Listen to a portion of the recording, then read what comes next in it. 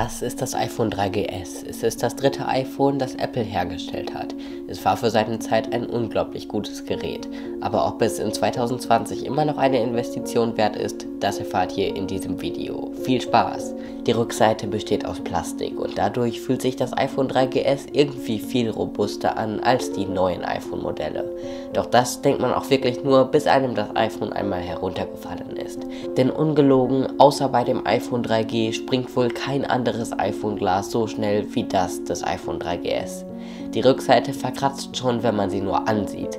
Ihr kennt doch alle AirPod Cases, oder? Das Backcover des iPhone 3GS besteht aus genau dem gleichen Material. Da fällt mir wirklich nichts mehr zu ein. Aber hey, durch das Plastik kann die Rückseite zumindest nicht springen. Ähm, ja, gerade im Vergleich zum iPhone 4, welches nur ein halbes Jahr später erschienen ist, denkt man sich bei dem iPhone 3GS eher, dass es ein billiges altes Android-Smartphone ist.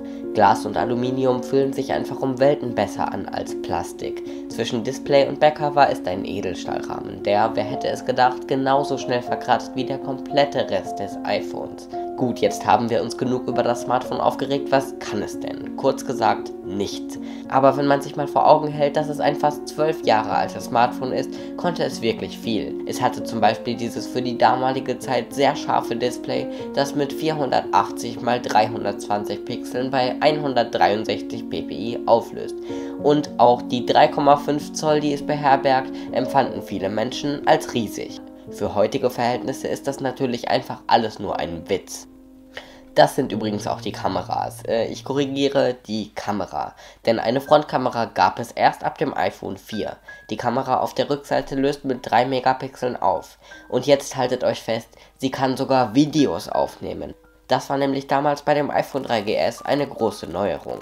Und sie kann, nein, kein 4K, kein 1080p, kein 720p, sondern 480p bei 30 fps. Das ist so wenig, dass jede Einwegkamera besser ist. Auch einen Blitz wird man vergeblich suchen. Aufgeladen wird es mit einem 30-Pin-Konnektor. Das ist dieser alte dicke Stecker, ihr wisst schon.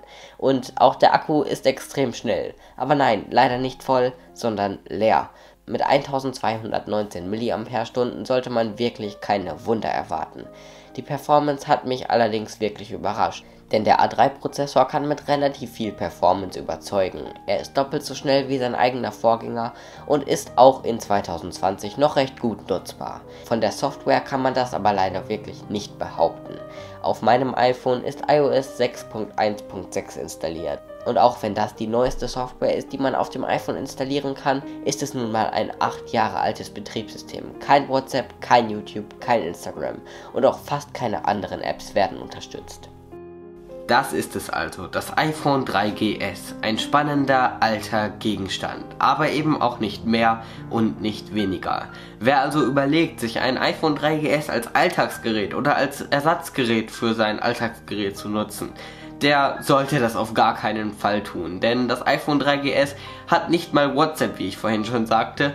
Und es ist einfach langsam und man merkt überall, dass es fast 12 Jahre oder 11 Jahre alt ist. Da sollte man sich wirklich lieber ein iPhone 5 oder aufwärts für kaufen. Wer aber wie ich ein altes, schönes iPhone haben möchte, das in der Vitrine steht und einfach mal gucken möchte, wie iPhones damals funktioniert haben und keine 2000 Euro für ein iPhone 2G über hat, der ist mit dem iPhone 3G oder 3GS richtig gut beraten.